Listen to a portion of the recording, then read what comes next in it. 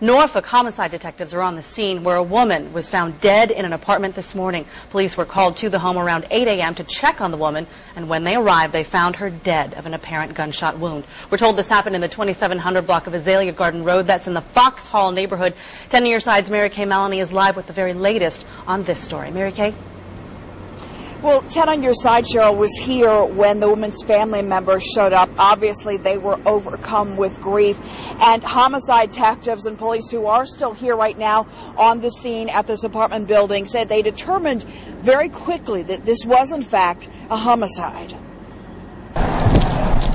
The woman's family arrived at the apartment complex, still not sure of what was going on. Detectives and uniformed officers working the scene, searching for evidence then had to break the news to them that she was dead. Detectives tried to comfort them as much as possible, but the news obviously so devastating. As police gathered clues, on Your Side spoke with the woman's next door neighbor. He said a family member had been knocking on the woman's door and got no response, so asked the landlord to open her door. Uh, the gentleman that knocked on the door, uh, when I was going through the mailbox, and he, and he said, I can't believe he shot my daughter.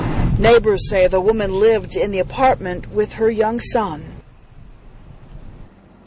This apparently happened about 8 o'clock this morning, so police on the scene here still in the very, very early stages of this homicide investigation. They've not released the woman's name. They want to make sure they get a hold of all family members, and they've not said anything about any suspects. Live in Norfolk, Mary Kay Mallonee, 10 on your side.